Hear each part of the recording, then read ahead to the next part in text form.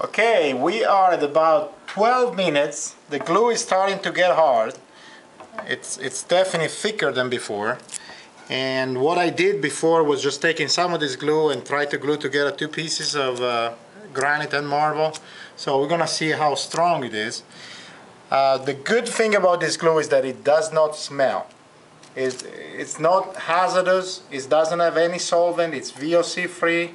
It, it does, we are inside, I cannot even smell it, uh, and that's a good plus, especially when you work on, uh, on a kitchen or something.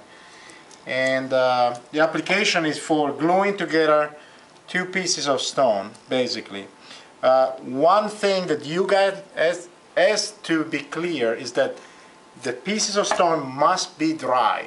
Uh, if there is some humidity or water, the glue will not work. So priority number one, make sure it's completely dry, clean, and then you can start mixing it and spreading it and gluing together.